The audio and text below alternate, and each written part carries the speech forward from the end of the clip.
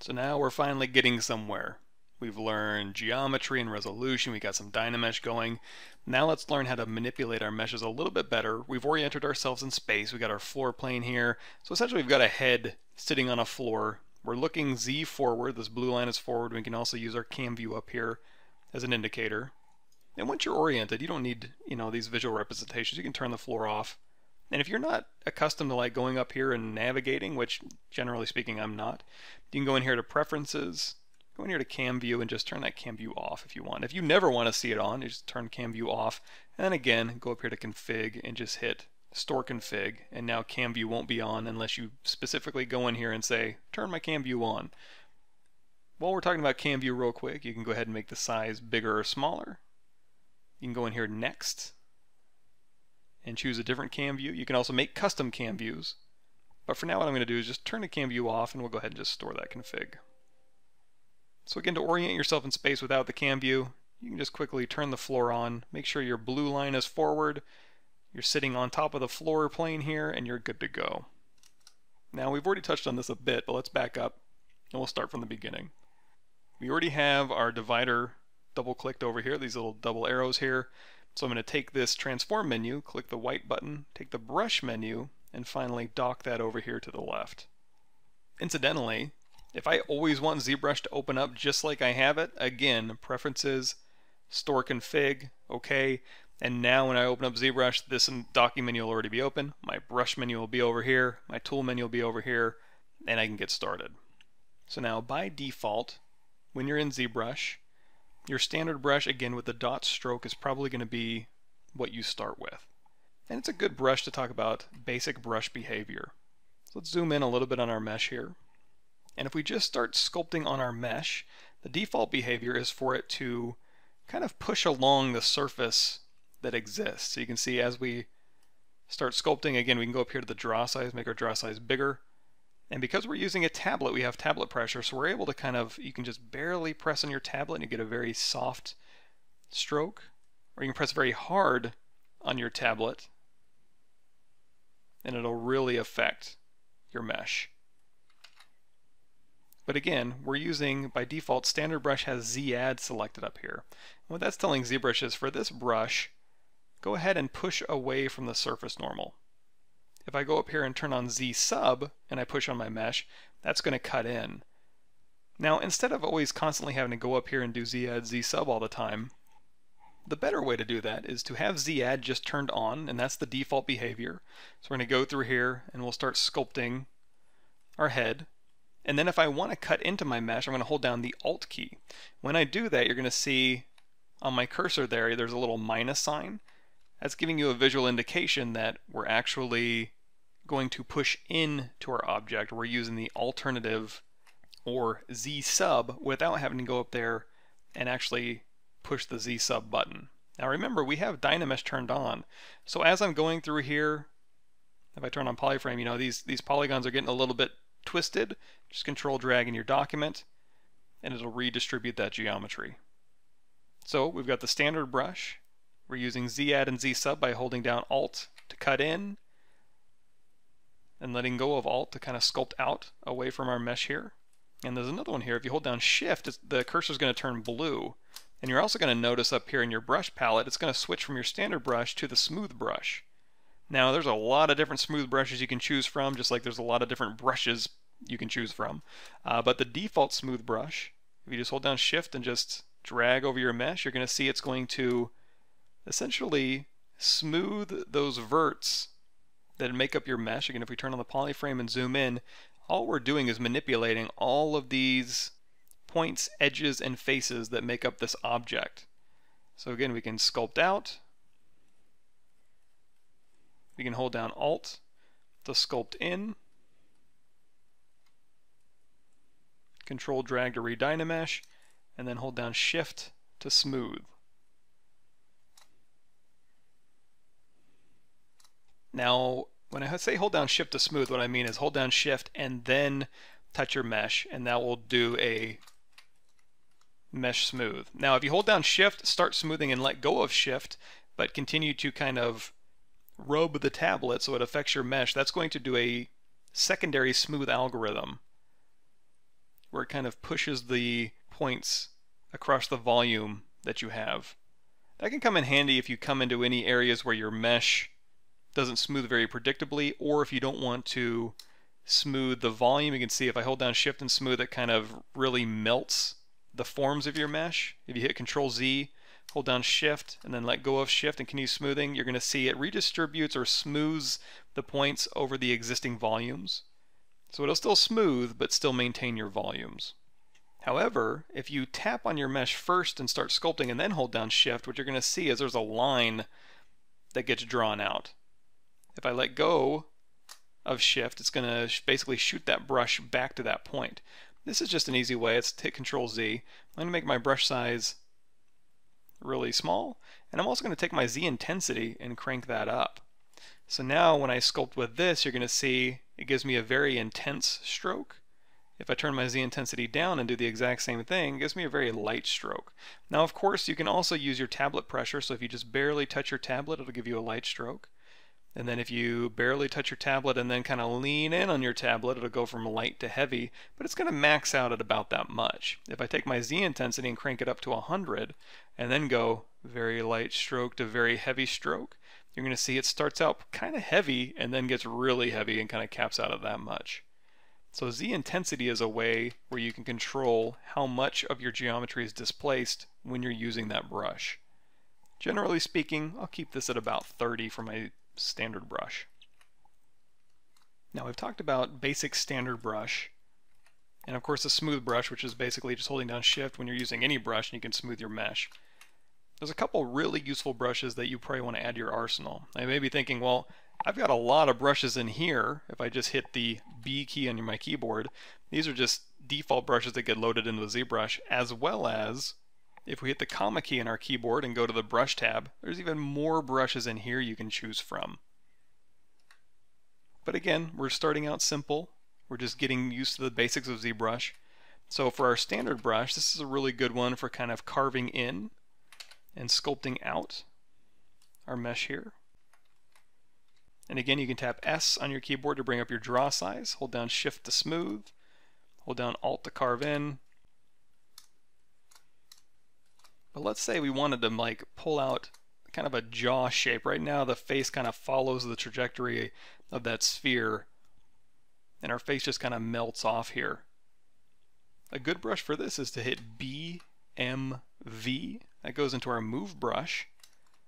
So if we hold down shift and snap this to the side, let's make our brush size, let's tap S and make our brush size bigger. I'm going to take this whole bottom part of the face and just pull it out into kind of a face shape. So now you can see I can go through and very quickly start manipulating very large portions of our mesh here. And again, you can tap S to make your draw size smaller, or go up here to your draw size, and you can manipulate smaller areas of your mesh, and then you can also tap S to make your draw size even larger. And again, you're always working in the round because this is 3D, so you want to kind of go through and evaluate your mesh from all sides and there we have a basic face. So now what we can do is we can go back to our standard brush, BST, and you can also notice as you're choosing new brushes out of here, you can go through here in this brush palette, and just like when we were making or selecting new tools, it's kind of piling them up over here. Same thing in your brush palette. If you want to choose the move brush, just go over here and tap the small move, standard brush, they're all right here. So we'll go ahead and tap the standard brush here. Again, we can hold down Alt So just using our standard brush, letting go of Alt, holding down Alt, tapping S to increase our brush size, going over here to our move brush, and then because we have geometry Dynamesh, control drag to redistribute our geometry, you can very quickly start fleshing out a face. Now, similar to the standard brush, there's another brush I like to use. I'm going to hit B, D, and there's a Dam Standard brush in here. essentially what that introduces is the idea of an alpha. So it's a standard brush with a dot stroke, but now we have an alpha in here. So if we go through here, let's make our draw size a little bit bigger by tapping S and then bringing our draw size up. Now when we go through here, let's say we want to kind of put a fold around the nose, maybe start drawing a mouth in here, you're going to see I get a much finer line. So here's my standard brush. And if I go to the Damien standard brush, there's no alpha in there. Go to Damien standard and go through here, you're going to see I get a much finer line. Now there's some other brush settings that are happening in here, but essentially, if we undo that, both of those, we go back into our standard brush. Let's go into our alpha here. There's actually the standard Damien standard brush alpha sitting in here, but you can also see we've got a bunch more alphas in here. But if we choose that brush alpha and then use the standard brush, and on this one we want to hold down Alt. By default it's Z add. If you hold down Alt, you're going to see it kind of punches in. And you're also going to see, as I'm using this one, it kind of leaves dots behind. If you want to change that, uh, we'll skip ahead a little bit. You go in here to stroke, open up your lazy mouse, and change this lazy step to like 0.05, very small number. And that'll give you that result. Now, something important to notice here, uh, with standard brush, the default is Z-add. So you're going to see when I use this, it pulls out by default. However, when I go to the Damien standard brush, or DAM standard for short, uh, and I use that, you're going to see Z sub is on by default, and that's totally fine. Depending on the type of brush you make, the default behavior may be Z sub. When most people use Damien standard, they probably go through here and want to cut in with their Damien standard. Now that's not to say you can't go in here and hold down Alt and kind of pull up to a ridge if you wanted to. For example, on the sides of the nose here, or on the cheekbones. But again, most people when using the Damien standard brush are probably going to cut in first and then use Alt as an alternate method to kind of carve in. Now you're going to notice when I'm holding down Alt, I pulled up a ridge and I can go back to my standard brush and I can build up to this ridge. Uh, of course, we need to reset this one. If you want to, you can go in here to brush, down here at the bottom, say reset current brush. That'll bring the standard brush back to its default. And now we can use this to kind of build up to that ridge. Another really good brush for building up forms, if we hit B, C, L, that's the clay brush. So we go back up here, you're going to see we have clay brush available for us. And we can actually go through here, and this is a good brush again for just building up nice volumes through here. And so instead of using the standard brush, this one's a little broader. And just like any other brush, you can hold down Alt in this case, it's going to dig in. So we're going to go through here with our clay brush. We're just going to kind of go through and build up some volumes and hold down up Alt to kind of take some volumes down. And again, right along this ridge here, you can either build up the nose or again, hold down Alt and knock that back. Now a similar brush to the clay brush, if you hit B C. You can see we have a bunch of clay brushes in here and there's uh, clay buildups right next to there. So BCB and also if you hit your comma key, again like we mentioned there's other brushes in here. We, course, we can't cover all these brushes. I'm going to give you the basics to kind of get started with. But even in here there's multiple clay brushes that you can kind of play around with. But let's go ahead and hit our comma key.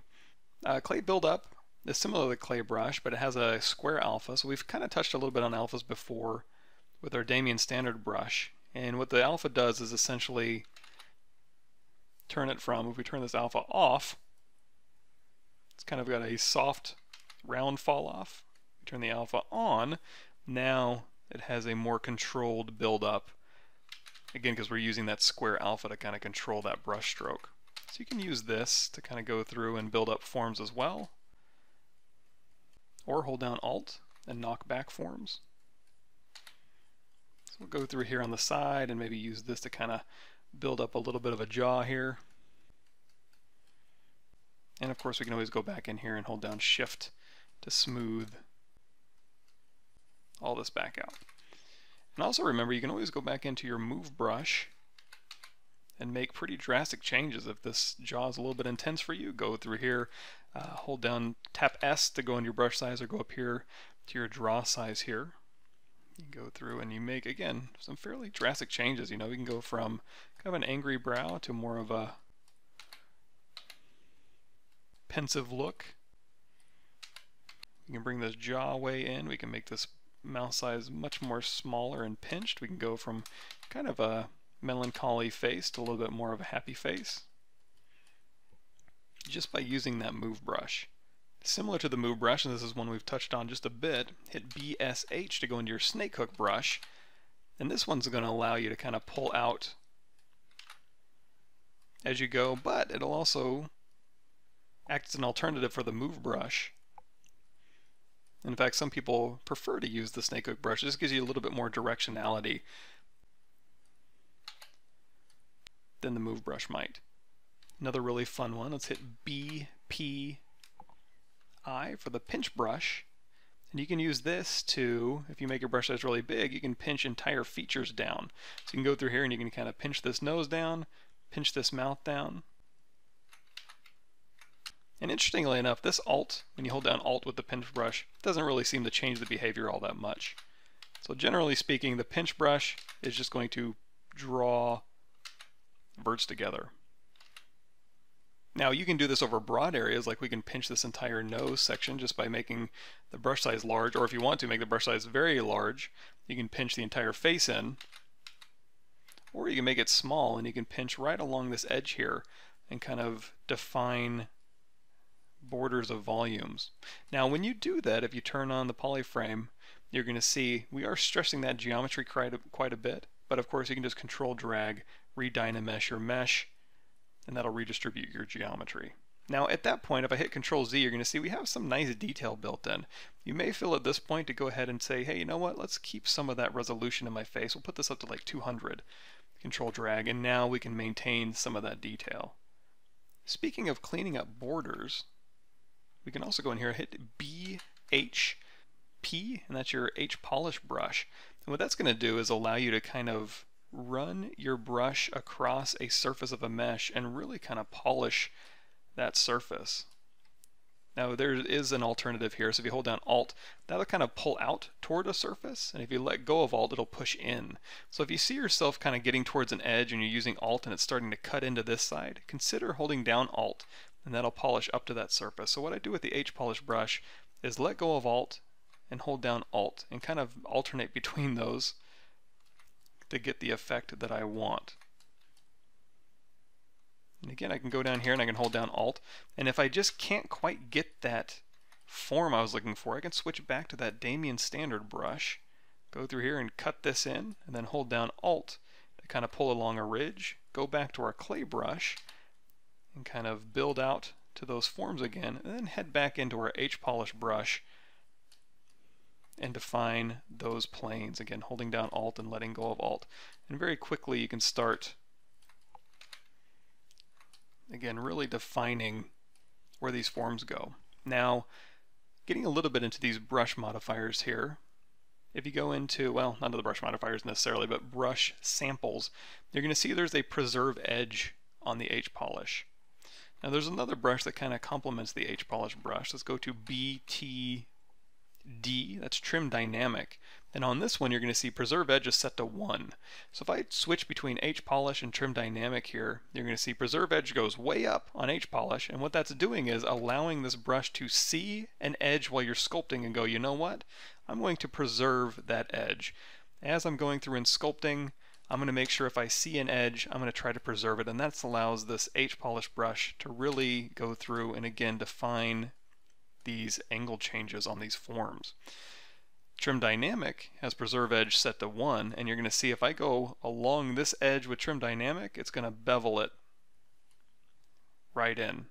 It's not going to preserve any edges, but it will allow you to go across those edges and define a new form or a new plane change, which you can now go in with your H-polish brush and refine that new plane change. So now the H-polish brush is going to see two new edges, this one at the top and this one at the bottom, and you can now polish in between those. So this is another really good way, Trim Dynamic and H Polish and Damien Standard, to go through here and start again defining where changes are, going through and defining where your volumes are, using your clay brush to go through and kind of build up forms or your clay buildup, or holding down Alt to kind of dig in. Using your Damien Standard or your standard brush to dig in, using your move brush or your snake hook brush to go through here and move your volumes around. And again, you can always tap S and re draw out your draw size so you can affect larger areas of your mesh or bring this into attack to affect smaller areas. Hold down shift to smooth out. If you want to smooth along these edges, again, just hold down shift put a nice smooth along here. Let's say you wanted to define those planes, but then maybe go through and soften these out. Maybe go hit through here with your trim dynamic. Kind of knock these edges back. You've already found your planes, and now you want to refine them a bit more. And then of course, you can always go back in here in your standard brush, hold down Alt, and kind of start pushing that inwards. And also remember, like say you're using the clay buildup, if you want to really crank up that Z intensity, that'll really go through and make plane changes. If you want to, you can also turn down that Z intensity. Kind of go across the forms and use this as a way to kind of softly and gently build up volumes. And even when you're using your smooth brush, if you go through here and you smooth, and it's like, oh, it's smoothing too much, you can hold down shift and then bring your Z intensity down, and now you'll smooth uh, just a little bit less. You can also use your tablet pressure to kind of put a little feather touch on that smooth, but always remember when you hold down shift, this is going to give you access to your smooth intensities. So you can go through here and you know keep this up at 100 or drop this down to a lower number there. Now you may notice as you're using these brushes and you hover over this, you're going to see there's a base type. So the clay buildup and the clay brushes are all base type clay. The standard brush and the dam standard brush, or the Damien standard brush, are both base type standard. So those are the kind of the parent or the archetype brushes that all these brushes are based off of. And like I said before, there's a ton of brushes in here. There's all sorts of really crazy cool things you can do, but that should be enough to get you started. You'd be surprised what you can make with just these brushes, a little bit of Dynamesh, and just having a little bit of fun in ZBrush.